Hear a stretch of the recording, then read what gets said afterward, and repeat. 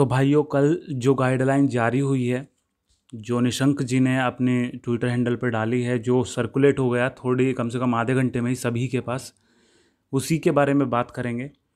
थोड़ा सा लेट हुआ हूँ वीडियो के लिए क्योंकि कई जगह से जानकारी इकट्ठा करी है। तो सबसे पहले तो कल हमने वीडियो डाली थी तो ये उसी का जो है रिपोर्ट है नौ बज के छः मिनट पे और ये वीडियो डालने के बाद आ, हमारे कम से कम आधे घंटे बाद ही एक जो पीडीएफ था सर्कुलेट हुआ है जो इमेज थी सर्कुलेट हुई है नौ बज के चौंतीस मिनट पर जो निशंक जी हैं उन्होंने अपने ट्विटर हैंडल पर डाला है। सबसे पहले तो मैं ये आपको बता दूँ कल जो हमने बताया था तो इसमें लिख रहा है कि R C Kuhad vice chancellor of central university in Haryana and chairman of the social special committee told the print इन्होंने द प्रिंट को बोला है that the guidelines will only be submitted to the UGC after a few days मतलब UGC को वो report submit कर देगी कुछ दिन के बाद मतलब कुछ दिन के बाद पता चलेगा कि गाइडलाइंस के में क्या हुआ, क्या नहीं हुआ। जैसे कि हम दो तीन दिन से इंतज़ार कर रहे थे, उसी के बेस पे मैंने ये बनाया था। सबसे पहले तो मैंने वेट किया क्योंकि द प्रिंट जैसी कोई वेबसाइट हमने कभी सुनी नहीं है, कल पहली बार सुनी और मैंने उस वीडियो में भी बताया था कि एक सीसीएस यूनिवर्सिटी को या किसी भी सरकार को सी को ही एक ऐसी चीज़ डालनी, एक ऐसी मतलब स्पेस देना चाहिए जहाँ पे वो बताते रहें कि ये इतनी डिले होगी या इतनी तारीख को रिलीज़ होगी और हिंदी में बताते रहें। ठीक है? ऐसा नहीं कि इंग्लिश में, यू, उत्तर प्रदेश की यूनिवर्सिटी कौन सी है इतनी बड़ी यूनिवर्सिटी कौन से उसमें अंग्रेज़ पढ़ रहे हैं? उन्होंने निशंक जी खुद तो शुद्ध हिंदी में बात करते जब स्टूडेंट से बात करते उन्हें समझ में आता है कि यहाँ जो देखते हैं वो रूरल एरिया से हैं ज़्यादातर ग्रामीण एरिया से हैं, फिर वो इंग्लिश में कैसे नोटिस डाल देते हैं? चलो ठीक है, वो तो आप मुझे बोल रहे थे, इसलिए मैंने ये टॉपिक को भी उठा लिया। तो बात करते हैं फिर इससे आगे। ये मैंने वीडियो डाल दी थी उसके बाद मेरे पास कमेंट आने स्टार्ट हुए लगभग आधे घंटे तक ये वीडियो आ, मतलब सही चली लेकिन आधे घंटे के बाद मेरे पास कमेंट आने लगे कि भैया ये देखो नोटिस आया है और वो आया है मैंने तभी नोटिस देखा एनालाइज़ किया। तो थोड़ा सा इन चीज़ों में टाइम लगता है तो ये रहा रमेश पोखरियाल निशंक, ये स्क्रीनशॉट 6 जुलाई नौ बज के तिरपन मिनट का है और यहाँ पे लिखा हुआ है ये 19 मिनट पहले डाला गया मतलब नौ बज के चौंतीस मिनट पर डाला गया था। तो इन्होंने ये जो लिखा है, सारी चीज़ें मैं बताऊँगा आपको। सबसे पहले ये मेन चीज़ है, जो आपको क्वेश्चन होगा, आप मुझसे कमेंट में ज़रूर पूछोगे तो ये सबसे पहले मैं क्लियर कर दूँ। इसी इसी से जुड़ा हुआ ये कमेंट है, और सबसे पहली चीज़ तो ऑफिशियल है, ये फेक नहीं है। Intermediate semester students will be evaluated based on internet uh, in, sorry internet internal assessment as per guidelines. तो इंटरमीडिएट जो सेमेस्टर स्टूडेंट्स हैं वो विल बी इवेलुएटेड जो उन्हें मतलब मूल्यांकन कर दिया जाएगा बेस्ड ऑन इंटरनल असेसमेंट जो इंटरनल के असेसमेंट्स मार्क्स हैं मतलब इंटरनल बेसिस पे उन्हें पास कर दिया जाएगा जो इंटरमीडिएट मतलब इंटरमीडिएट को बोल सकते हो आप एक फाइनल ईयर को छोड़ के। वो जो बच्चे हैं फाइनल ईयर को हटाने के बाद उन्हें जो है पास कर दिया जाएगा। ठीक है? उसके लिए एक जल्दी ही गाइडलाइन जारू, जारी कर दी जाएगी। ठीक है? इन्होंने यहाँ पे लिखा है कि जारी कर दी गई है गाइडलाइन लेकिन जारी की जाएगी। एक और गाइडलाइन आएगी, मैं आपको बता रहा हूँ। क्यों आएगी वो भी सब कुछ क्लियर करूँगा। दूसरी चीज़ इन्होंने बोली है evaluation of the terminal semester students which was to be done through examinations in the month of July now there examination will be conducted by the end of September 2020 तो जो पहले टर्मिनल सेमेस्टर बोलते हैं, जो बिल्कुल किनारे पे semester होते हैं टर्मिनल मतलब एक तरीके से बिल्कुल फाइनल जो अगर आपके दस सेमेस्टर हैं तो दसवा सेमेस्टर तीन साल की पढ़ाई है तो तीसरा तीसरा साल, और छः साल के सेमेस्टर छः सेमेस्टर होते हैं तो छठा सेमेस्टर तो टर्मिनल सेमेस्टर बिल्कुल एंड का सेमेस्टर मतलब लास्ट फाइनल की बोल रहे हैं फाइनल ईयर या फिर फाइनल सेमेस्टर जो हैं, उनके जो एग्ज़ाम होने थे, वो जुलाई में होने थे, जिन्हें अब कंडक्ट कराने के लिए बोल दिया गया कि सितंबर के एंड तक आप कंडक्ट करा दीजिए उन्हें following the guidelines laid by laid down by M O H F W मतलब ये होता है member of health and family welfare India ठीक है, ये चीज़ हो गई आपकी, इन्होंने नोटिस लिख दिया। ये नोटिस ये है, अगर आप यहाँ पे पढ़ोगे, ये सेम वही चीज़ इनमें इसमें बोल रखी है।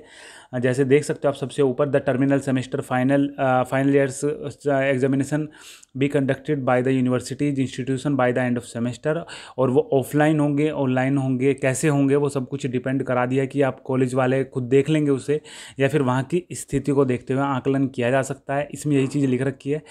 अभी ये जो है, चलो इसके बारे में मैं थोड़ा सा मतलब आपको हिंदी में बता दूँ। तो मतलब एक वेबसाइट है, मैंने वहाँ से ये सब चीज़ ली है और वेबसाइट का नाम अगर आपको बताऊँ तो जनसत्ता डॉट कॉम है। मैं आपका होगा तो लिंक दे दूँगा, लेकिन मैं थोड़ा सा उसको आपको पढ़ के बता रहा हूँ। तो इसमें लिखा हुआ है कि देश में कोरोना वायरस के प्रसार को रोकने के लिए भारत द्वारा देशव्यापी तालाबंदी लागू करने के बाद सभी स्कूल, कॉलेजों और विश्वविद्यालयों को बंद कर दिया गया था। इसके परिणाम स्वरूप परीक्षाएँ भी आयोजित नहीं की जा सकी। देश के विभिन्न को, विभिन्न विश्वविद्यालयों और कॉलेजों में परीक्षाओं के नहीं होने के से सत्र के विलंब होने और प्रतियोगी परीक्षाओं को छूटने का खतरा पैदा हो गया है। परीक्षाओं के नहीं होने से विश्वविद्यालय के सेमेस्टर परीक्षाओं का समय खराब होने और आधी अधूरी तैयारी के साथ परीक्षा देने को विवश होना पड़ेगा। कई कॉलेज को सत्र, कई कॉलेजों के सत्र को नियमित करने के लिए अतिरिक्त संसाधन लगाने होंगे। विश्वविद्यालय और कॉलेजों में अब तक अटकी पड़ी अंतिम वर्ष की परीक्षाएँ तीस सितंबर तक करा सकेंगे। गृह मंत्रालय की अनुमति के बाद यूजीसी ने सोमवार को 6 जुलाई देर रात विश्वविद्यालय और कॉलेजों को परीक्षाओं को लेकर संशोधित गाइडलाइन जारी करी है। ये जो मैं पढ़ रहा हूँ, ये अभी तक की अपडेट है। अभी तक जब मैं वीडियो बना रहा हूँ, तब तक की अपडेट है। ठीक है? जिसमें जुलाई में परीक्षाओं को कराने जैसी अनिवार्यता को ख़त्म कर दिया गया है, साथ ही अंतिम वर्ष की परीक्षाओं को अनिवार्य बताते हुए सितंबर के अंत तक कराने की अनुमति दी है। सिर्फ़ अंतिम वर्ष या फिर अंतिम सेमेस्टर, बाकी सब प्रमोट हो जाओगे। ठीक है? तो अगली इसमें है हेडलाइन की परीक्षाएँ ऑनलाइन और ऑफलाइन किसी भी माध्यम से कराई जा सकेंगी। यूजीसी ने इसके साथ ही विश्वविद्यालय कॉलेजों को यह भी छूट दे दी है, वह इन परीक्षाओं की स्थानीय परीक्षाओं को देखते हुए 30 सितंबर तक कभी भी एग्ज़ाम करा सकते हैं। हालाँकि यूजीसी को इसकी जानकारी देनी होगी। अब जो लास्ट है यूजीसी ने इससे पहले 29 अप्रैल को जारी गाइडलाइन में सभी विश्वविद्यालय और कॉलेजों में एक से पंद्रह जुलाई के बीच अंतिम वर्ष की परीक्षाएँ कराने को कहा था, जो कि अब एक से पंद्रह को ना होकर सितंबर के एंड तक करा दी, करा, कराने को बोला गया है। पहले और दूसरे वर्ष की परीक्षाएँ कराने के लिए पंद्रह से तीस जुलाई तक का समय तय किया गया था। इसी बीच कोरोना के तेज़ी से बढ़ते संक्रमण को देखते हुए राज्य और विश्वविद्यालयों ने मौजूदा परिस्थितियों में परीक्षाओं कराने से हाथ खड़े कर दिए थे। तो ठीक है तो ये अपडेट थी और एक लास्ट लाइन इसमें है। मानव संसाधन विकास मंत्रालय ने यूजीसी से परीक्षाओं को लेकर जारी गाइडलाइंस की नए सिरे से समीक्षा के निर्देश दिए थे। ठीक है तो ये थी गाइडलाइंस आपकी जनसत्ता ने जो दी है। इसके बाद, इस नोटिस के बाद ये जो नोटिस आए थे, ये जो डाला था रमेश पोखरियाल निशंक जी ने ये डाल दिए, तीन नोटिस इसमें डाल दिए। इसके नीचे बहुत से बच्चों के कमेंट आ रहे हैं। मतलब अभियान चला रहे हैं वो कि हाँ इन्हें पास कर दिया जाए। एनएसयूआई के साथ उन्हें मतलब अटैच कर करके अपने कमेंट कर रहे हैं कि इतना मतलब नहीं करना चाहिए जो पढ़ाई हो आपकी, ऐसे न, उस पर मतलब जाँच नहीं जानी चाहिए कि आपकी परीक्षा की बेस पे। सब कुछ लिख रहे हैं, मैंने भी अपने ट्विटर पे लिखा है, जाके चेक कर सकते हो, उसे रीट्वीट कर सकते हो, जिससे आगे तक बात पहुँचे। उसके बाद ये जो हो गई गाइडलाइन, उसके बाद मैंने अमर उजाला और दैनिक जागरण की मैं हर बार खबर को मिक्स करके बताता हूँ आपको, जिसमें अच्छी होती है या जिसमें सही होती है। कुछ बच्चों ने मेरे पास हिंदुस्तान की भी कटिंग भेजी थी। जो कि मुझे सही दिख नहीं रही थी तो इसलिए मैंने हिंदुस्तान भी इंटरनेट से डाउनलोड करा। तो मैं आपको पढ़ के बताऊँगा। देखो अमर उजाला की जो ये खबर है ये मैंने पढ़ ली है इसे छोड़ो। ये है ये हिंदुस्तान की है खबर। इसमें एक चीज़ अलग लिख रखी है बाकी सबसे जो कि ये लास्ट की लाइन है। इसमें दो गज की दूरी मास्क तथा आरोग्य सेतु ऐप जैसे प्रावधान शामिल है। किसमें जब आप पे, एग्ज़ाम पेपर देने जाओगे। अभी पढ़ते हैं दैनिक जागरण की खबर जिसमें सब मतलब परीक्षाएँ सब जो न्यूज़ है वो मिक्स हो जाएँगी। विश्वविद्यालय अब तीस सितंबर तक करा सकेंगे परीक्षाएँ। अच्छा एक चीज़ मैं और आपको बता दूँ। चलो, ठीक है, पहले इसे पढ़ लेते हैं। तो इसमें लिख रहा है यूजीसी की संशोधित गाइडलाइन जारी। स्थानीय परिस्थितियों के अनुसार निर्णय लेने में छूट। निर्णय निर्णय लेने की छूट मतलब आप जो है, जहाँ पे आपका कॉलेज है, वहाँ पे आप जो डीन हैं या फिर यूनिवर्सिटी से बात करके वहाँ पे निर्णय लेने की उन्हें छूट है कि क्या करना चाहिए, क्या नहीं करना चाहिए, फ़िलहाल भी। गृह मंत्रालय गृह मंत्रालय ने भी दी अनुमति नए शैक्षणिक सत्र और प्रवेश को लेकर अलग से जारी होंगे दिशा निर्देश। ठीक है अभी चलो पढ़ते हैं। विश्वविद्यालय और कॉलेज अब अपनी अटक पड़, अटकी पड़ी अंतिम वर्ष की परीक्षाएँ 30 सितंबर तक करा सकेंगे। गृह मंत्रालय की अनुमति के बाद यूजीसी ने सोमवार देर रात विश्वविद्यालय और कॉलेजों की परीक्षाओं को लेकर संशोधित गाइडलाइन जारी की है जिसमें जुलाई में परीक्षाओं को कराने जैसी अनिवार्यता को तो ख़त्म कर दिया है, साथ ही अंतिम वर्ष की परीक्षाओं को अनिवार्य बताते हुए। बस अंतिम वर्ष की, अगर आप उससे अलग हो बी ए फ़र्स्ट ईयर हो प्रमोट हो जाओगे आप। सेकेंड ईयर हो प्रमोट हो जाओगे। M A first year promote हो जाओगे। बस फाइनल ईयर की इसमें बात करी गई है। सितंबर के अंत तक कराने की अनुमति दी है, जो ऑनलाइन और ऑफलाइन किसी भी माध्यम से कराई जा सकेगी। यूजीसी ने विश्वविद्यालय और कॉलेजों को यह भी छूट दे दी है, वह इन परीक्षाओं की स्थानीय परिस्थितियों को देखते हुए 30 सितंबर तक कभी भी करा सकते हैं। हालाँकि यूजीसी को इसकी जानकारी देनी होगी मतलब जब भी परीक्षाएँ कराएँ तो यूजीसी को इसके बारे में बताना पड़ेगा कि हम इतने तारीख को करा रहे हैं। यूजीसी ने इससे पहले उनतीस अप्रैल को गाड़ी जारी गाइडलाइन में सभी विश्वविद्यालय और कॉलेजों में एक से पंद्रह जुलाई तक के बीच अंतिम वर्ष की परीक्षाएँ कराने को कहा था। ये वो गाइडलाइन है जिसके बारे में मैंने आपको बताया था कि ये गाइडलाइन टोटल अधूरी गाइडलाइन है। मैंने उसकी वीडियो भी बना रखी है, बाईस मिनट की शायद वीडियो है। तो वो जब हमने गाइडलाइन पढ़ी थी तो वो मतलब बिना सिर पैर की गाइडलाइन थी, वो मैंने आपको पढ़ के बताया था एनालाइज करी थी उसे। मैंने आपको लॉजिकली बताया था कि वो कहाँ कहाँ पे उनमें कमियाँ हैं क्या क्या उस गाइडलाइन में कमियाँ हैं, वो भी ऐसे ही बना दी थी। ये नोटिस और भी ना सोचे समझे, पता नहीं कैसे डाल दिया। जबकि पहले और दूसरे वर्ष की परीक्षाएँ कराने के लिए पंद्रह से तीस जुलाई तक का समय किया गया था। इस बीच कोरोना के तेज़ी से बढ़ते संक्रमण को देखते हुए कई राज्यों और विश्वविद्यालयों ने मौजूदा परिस्थितियों में परीक्षा कराने के हाथ खड़ी कर दिए थे। इसके बाद मानव संसाधन विकास मंत्रालय ने यूजीसी से परीक्षाओं को लेकर जारी गाइडलाइन की नए सिरे से समीक्षा करने के निर्देश दिए थे। मतलब जहाँ पे गार्जियन वगैरह जा रहे हैं या यूनिवर्सिटी में, वहाँ पे धरने पे लोग बैठे हैं तब जाके ये मतलब ये गाइडलाइन निकाल रहे हैं कि परीक्षा होगी। मतलब इवेलुएट करने के और भी तरीके हो सकते हैं और अगर सोचें तो मतलब ये खुद से इन्होंने दिया है, मेरी समझ में नहीं आ रहा है। ये खुद से वहाँ पे दे के आए हैं, जब कमेटी हुई है कि हाँ फाइनल ईयर के पेपर करा लें। यूजीसी ने इसके बाद हरियाणा केंद्रीय विश्वविद्यालय के कुलपति की अगुवाई में एक उच्च स्तरीय कमेटी गठित की थी, जिसकी रिपोर्ट के बाद यूजीसी बोर्ड ने यह फैसला लिया है। यूजीसी ने सभी विश्वविद्यालय और कॉलेजों को निर्देश दिया है कि यदि इसके बाद भी कोई छात्र अंतिम वर्ष की परीक्षाएँ नहीं दे पाता है तो उचित कारण पाए जाने के बाद उसे फिर से परीक्षा में बैठने का मौका दे दिया जाएगा। संशोधित गाइडलाइन में यूजीसी का सबसे ज़्यादा ज़ोर अंतिम वर्ष की परीक्षाओं को लेकर है, जबकि पहले और दूसरे वर्ष के लिए यूजीसी ने पहले ही विश्वविद्यालय से आंतरिक मूल्यांकन के आधार पर प्रमोट करने के निर्देश दिए हैं। निर्देश दे दिए कि आंतरिक मतलब इंटरनल जो आपके एवेल्युएशन है इंटरनल बेसिस पे पास कर दिए जाएँ उसमें भी रेगुलर को पास कर सकते हैं इंटरनल के बेस पे। और अगर कोई, मान लो दो पेपर किसी के हुए हैं, उनमें थोड़ी दिक्कत है। प्राइवेट वालों के इंटरनल एग्ज़ाम होते नहीं, उनको दिक्कत है। उन मतलब किसी का कुछ भी दिया नहीं गया है। मतलब जिस तरीके की हम गाइडलाइंस की उम्मीद कर रहे थे, वो तो बिल्कुल भी नहीं है। दैनिक जागरण हुआ, ये थोड़ा सा और इसमें बताया गया है। अंतिम वर्ष की परीक्षा दी जानी अनिवार्य। कोविड में परीक्षाओं को राहत नहीं मिलने वाली है। यूजीसी के दिशा निर्देशों के अनुसार स्नातक और प्रास्नातक अंतिम वर्ष की परीक्षाएँ अनिवार्य हैं। बगैर परीक्षा लिए अगली कक्षा में इन्हें प्रोन्नत नहीं किया जा सकता है।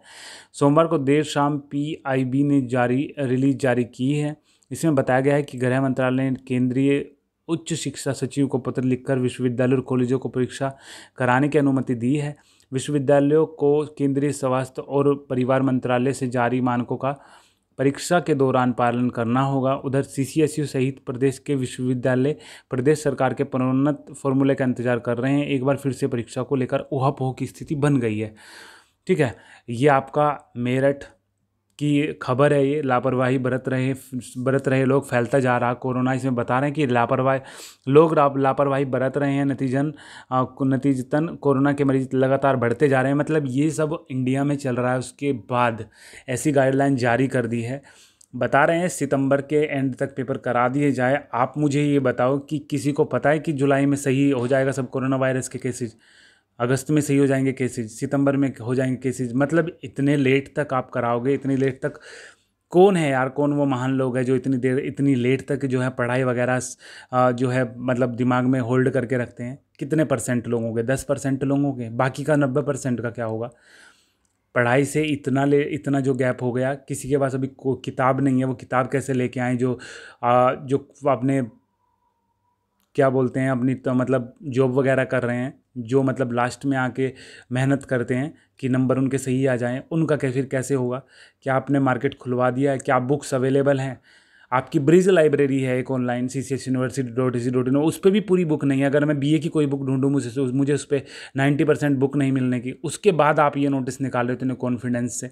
मेरी समझ में नहीं आ रहा, एक ही लास्ट चीज़ है ये और पढ़ के मैं आपको बता दूँ। यूनिवर्सिटी ग्रांट कमीशन जो यूजीसी है, ने ग्रेजुएशन पोस्ट ग्रेजुएशन के फाइनल ईयर की परीक्षाएँ रद्द न कराने का फैसला लिया है।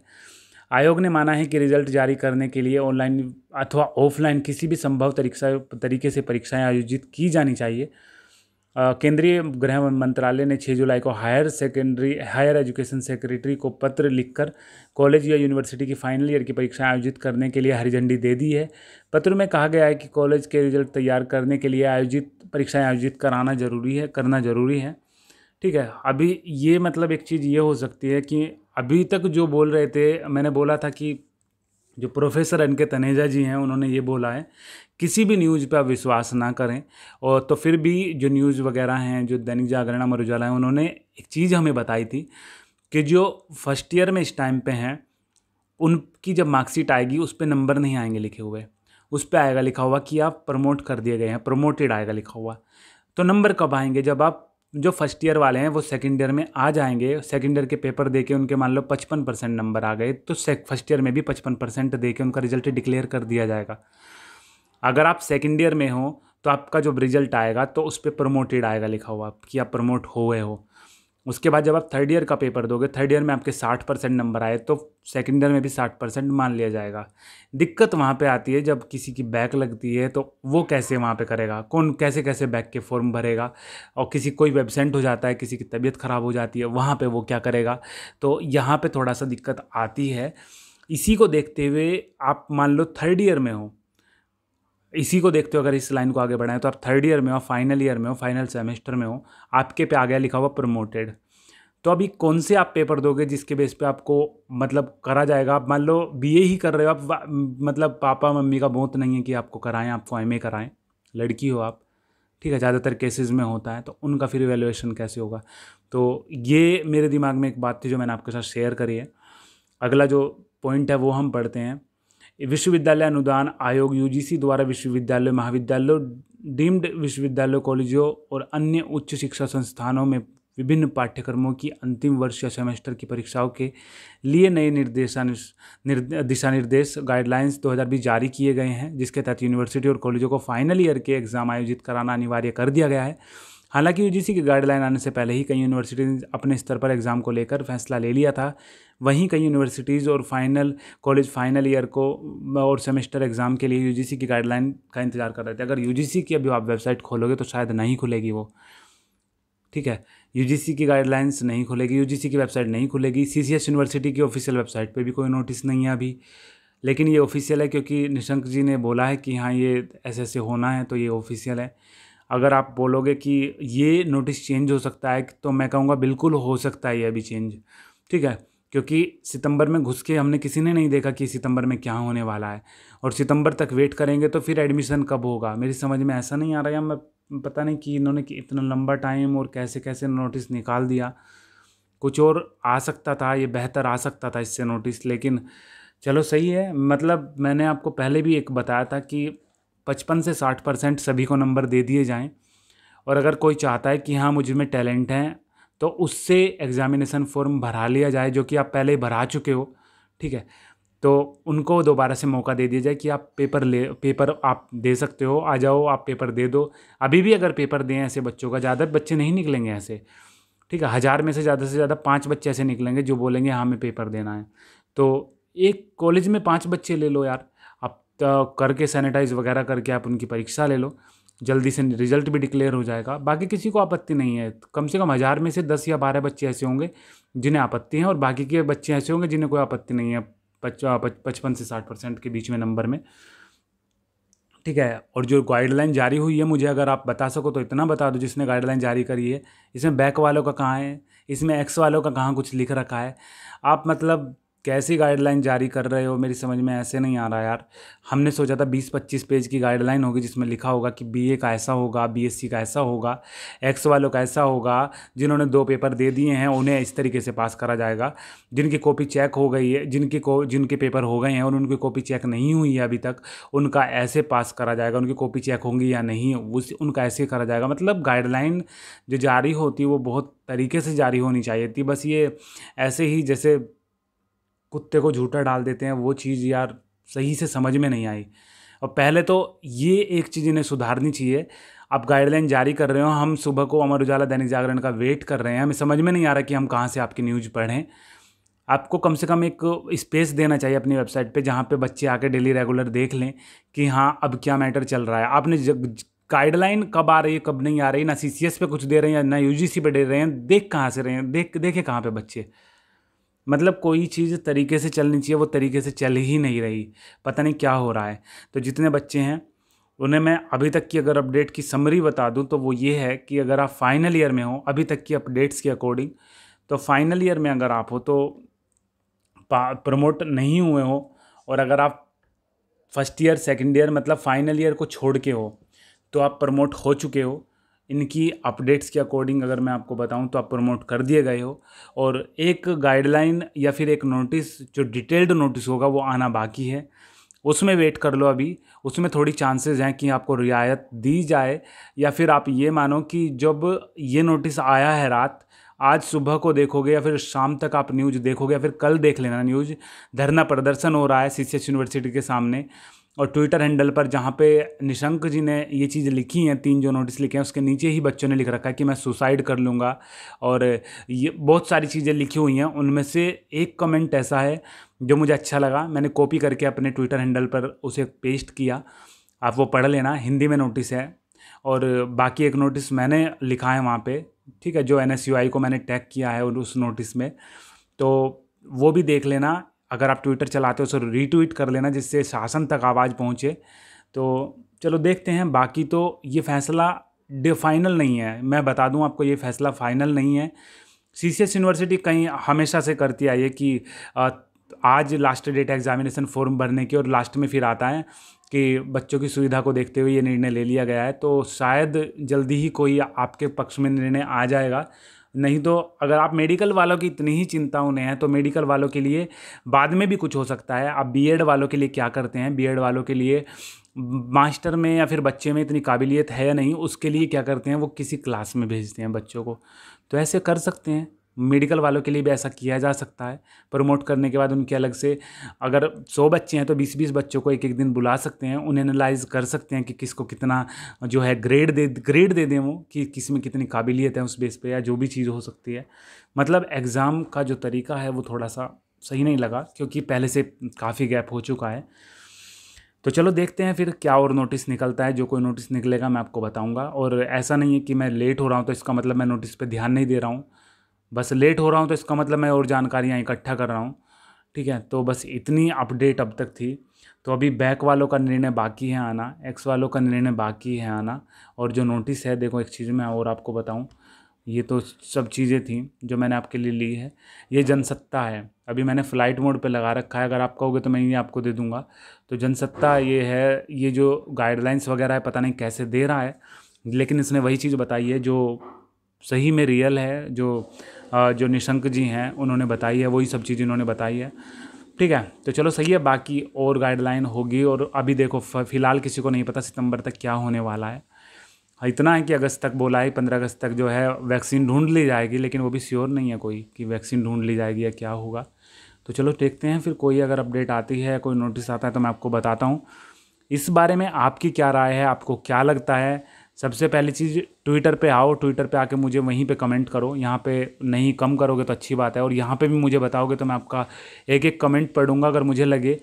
मुझे लगेगा कि आपकी बात ऊपर तक पहुँचनी चाहिए तो मैं उसके बारे में ज़रूर सोचूँगा और अपने ट्विटर हैंडल पर उसे शेयर करूँगा। अगर आपको कुछ लिखना है ऐसा, ठीक है तो आप इस परीक्षा से क्या समझते हो, आपका क्या राय है, आपको क्या लगता है क्या होना चाहिए था तो आप मुझे लिख सकते हो, बता सकते हो।